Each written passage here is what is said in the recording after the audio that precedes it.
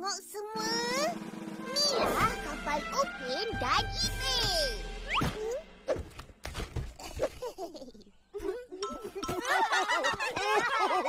Apa ni?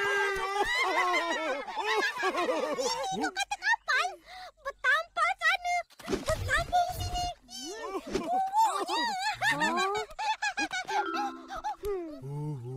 Selamat ke kalau taruh atas air?